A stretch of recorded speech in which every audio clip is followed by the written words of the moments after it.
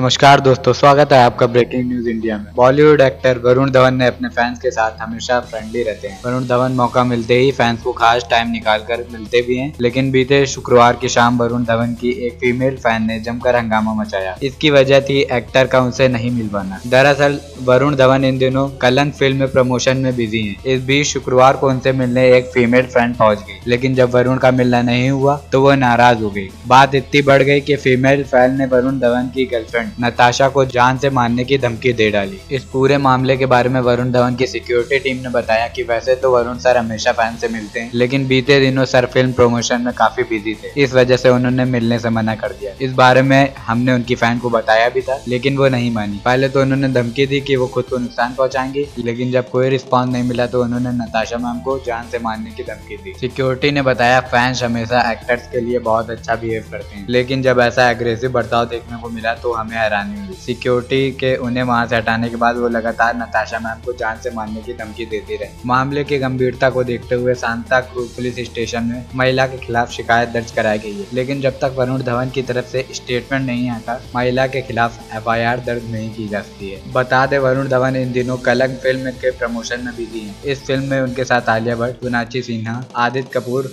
माधुरी दीक्षित, संजय दत्त नज़र आने वाले हैं। फ़िल्म 17 अप्रैल को रिलीज़ की जा रही है। खबर अच्छी लगी हो तो वीडियो को लाइक करें और चैनल को सब्सक्राइब करना बिल्कुल भी ना भूलें। धन्यवाद।